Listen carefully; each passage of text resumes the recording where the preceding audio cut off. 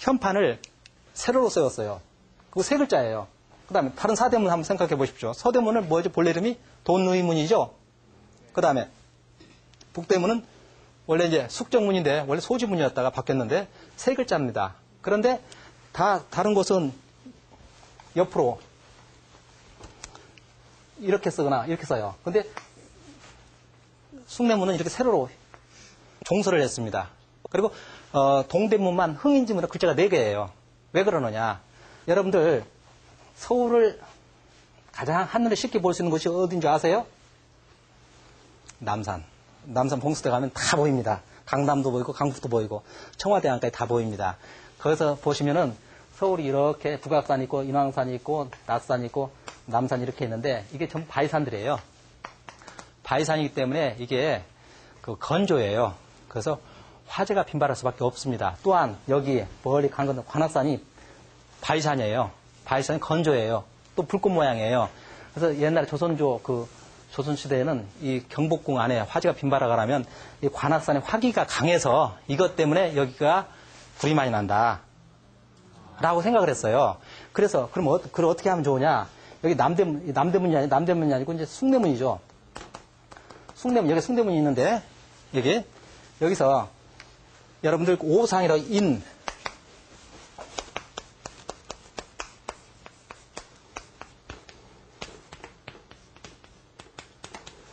이 인의 예지신에서 이게 흥인문입니다. 흥인지문, 동대문. 이게 오행의 목을 배속해요. 의는 서대문입니다.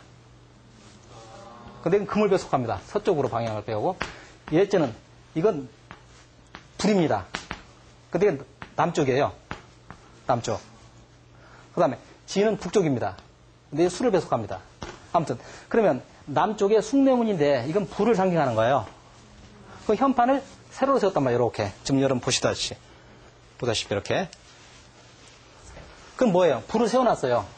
그럼 이쪽 관악산에 불기운이 강한 불기운이 여기 불하고 어떻게 맞불이 되는 거죠? 여러분 싸움할 때, 뭐 여러 가지 때 맞불 작전 많이 하죠? 어?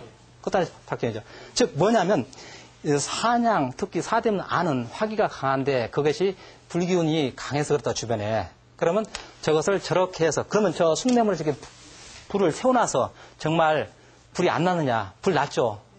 그런데 그게 중요한 것이 아니고 저렇게 이건 한양이 불균이 강하기 때문에 불 조심하라. 이런 것이죠. 그럼 당연히 저 숭례문 불타기 전에 저거 더 조심해서 경, 어, 경계 많이 했어야겠죠. 자, 뭐 어처구니 불타버렸는데 바로 저러한 것들이 어, 풍수를 전제하지 않으면 안 되는. 그러면 여러분 궁금하실 겁니다. 왜 흥인지문을 보면은 글자가 네 글자예요. 동대문은. 근데 왜 그럴까요? 이렇게 보시면은 인왕산은 이렇게 내려왔다 살짝 꺼졌다 남산으로 연결돼가 이렇게 아주 길어요. 그런데 낙산은 청룡은 짧아요. 이렇게 짧으니까 이건 풍수 이제 수수적인 해석인데 이 청룡은 청룡은 남자 명예 벼슬 이런 게 강하다고 특히 남자에서 장남 장손 근데 조선 왕실에서 보면은 장자, 장손이 일찍 요절하거나 왕위를 계승한 경우가 거의 없습니다. 그 다음에 백호는, 이 백호는 여자, 재물. 한양은, 서울은 앞으로 재물의 도시가 될 수 있고 여성의 도시가 될 수 있죠. 예술의 도시, 상업의 도시가 될 수 있습니다. 재물이니까. 강해. 그 다음에 차남, 차손. 차남이 강해. 그러니까, 아, 이것 때문에 그렇다. 그러면 이 산이 짧은데, 산이 짧은 것을 어떻게 해? 이 산의 모양을, 산의 모양을 이렇게 이렇게 하는데 옛날에 산을 그릴 때 요 모양을 갈지자로 표현했어요. 그러니까 짧은 짧은 산을 갈지자를 하나 집어넣어 가지고서 어떻게 돼? 여기 산을 늘려놓은 거예요. 이렇게. 그러니까 서울이라는 도시가 한양이라는 도시가 완벽한 땅이기는 하지만 불안전하죠. 그러니까 그것을 저렇게 글자를 통해서 그럼 정말 글자를 통해서 저게 정말 늘려졌느냐? 항상 그걸 염두에 두라는 것이죠. 우리가 사람마다 너는 특히 간이 나쁘니까 술 먹지 말아라. 너는 폐가 나쁘니까 담배 조금만 피워라. 똑같은 이야기입니다. 이 땅은 어떠한 성격이기 때문에 어떠해야 한다 하는 것이죠. 어, 마지막으로 하나만 더 말씀을 드리고 그러면 서울에서 어디가 가장 문제가 있을까요? 사방의 산들이 잘 감쌌는데 여기 북쪽 잘 감쌌죠. 인왕산 잘 감쌌죠. 살짝 꺼졌다 남산 내려서 잘 감쌌죠. 동대문 낙산 잘 감쌌습니다. 이렇게. 그러면 여기가 어떻게 돼? 비었죠? 청계천 물이 흘러서 이렇게 흘러갑니다. 이렇게. 그럼 여기가 동대문여가 있죠? 근데 임진왜란이 일어났어요. 1592년에 일본 아이들 쳐들어와서 한 몇 년 동안 분탕기를 했죠. 선조임금이 그걸 과학적으로 정치적으로 풀어야 하는데 자기는 이 일본군이 쳐들어와가지고 우주까지 도망갔다가 다시 오니까 명나라 군대들이 막 설쳐. 이게 도대체 왜 그러느냐. 그러면 유명한 훌륭한 현인들한테 물었어야 하는데 풍수들한테 물어봐요. 야, 왜 그러느냐. 그러니까 도성의 지기가 빠져나가서 그렇습니다. 어디로 빠져나가는데 이쪽으로 빠져나갑니다. 동대문 쪽으로. 그럼 여기다가 어떻게 하느냐? 뭘 세우면 어떻게 하면 좋으냐? 여기다가 저게 사당입니다. 이게 묘라고 하는데 동묘입니다. 동쪽에 있다 동묘죠. 저기가.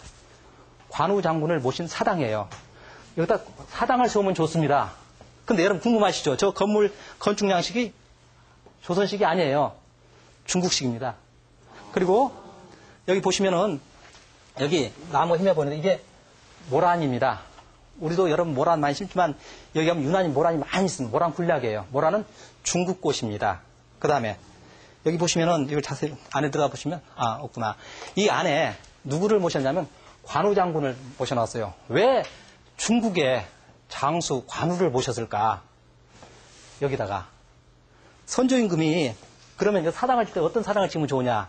그 당시 그 임진왜란 당시에 그 명나라 군대가 도성 안에 진주하면서 백성들 너무나 많이 괴롭혔어요. 관리까지. 그러니까 명나라 군대한테 잘 보이려고.